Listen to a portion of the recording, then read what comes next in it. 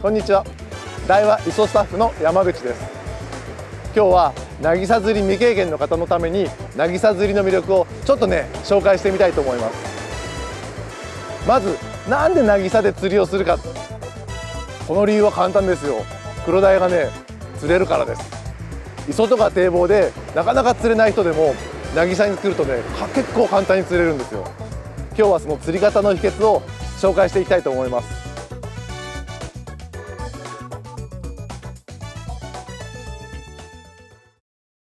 まずですね皆さんにお伝えしたい一番の魅力点それはね黒鯛が簡単に釣れるんですよ。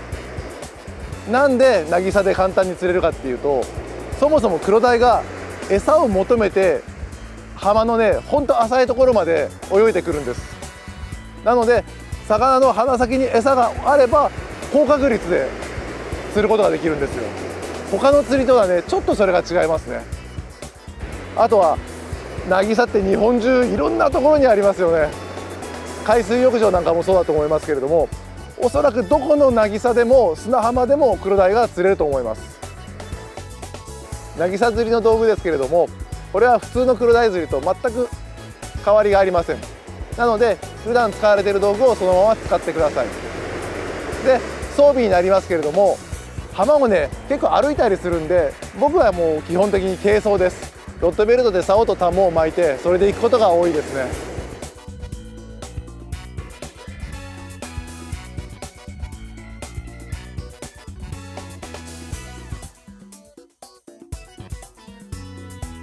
渚釣りの装備ですけれどもまず第一ライフジャケット。これはもう必ずしてください。いろんなタイプがありますけれど僕はやっぱり小物が取り出せるようにこのベスト型を使うことが多いです。次にね長靴があった方がいいです。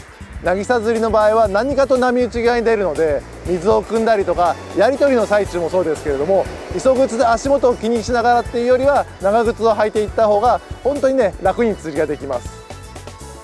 夏場なんかはサンダルを履いてる人も多いですけれども、まあ、僕もたまに履きますけどね結構引き波でね持ってかれちゃうんでこれは注意が必要です。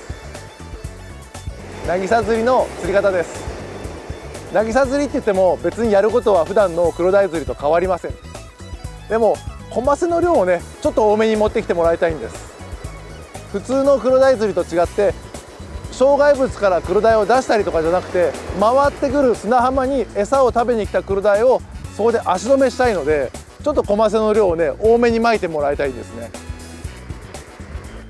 で渚釣りの仕掛けです。これも普段お使いの黒鯛釣りの仕掛けで構わないんですけれども僕の場合ちょっとおすすめというかね毎回使っているのがこの棒浮きです。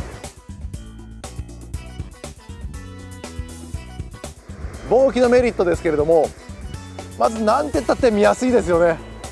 渚釣りの場合は水面と高さがねあまり変わらないので円錐池だとちょっと見づらいことがあるんですけど棒浮きならば当たりも一発ですよ。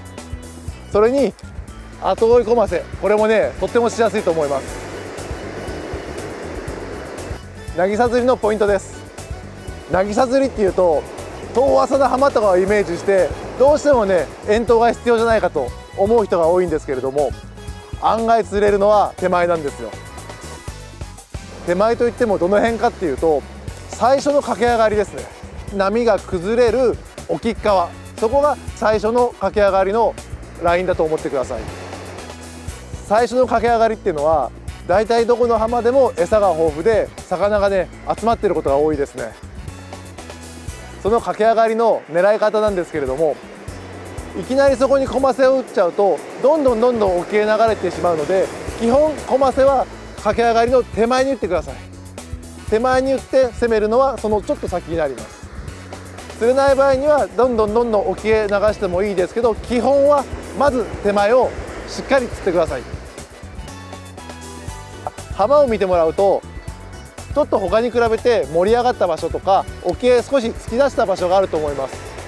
そういう場所は両方から来た波がぶつかって沖へ払い出す離岸流が出るんですね。そういう場所はとっても釣りやすいので狙い目としておすすめです。この渚釣りですけれども基本的にどこの浜でも黒鯛は釣れると思います。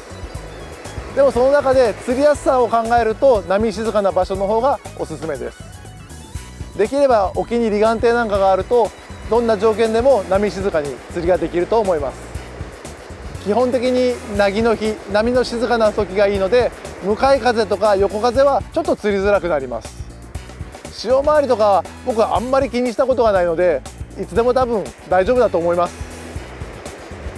でこの渚釣りですけど基本的に一年中どこでも釣れると思います。僕も大体どこの浜でも一年中釣ってます。でもおすすめとなると夏から秋にかけて。これ型もね数も両方期待できるんですよ。始めるならば夏から秋。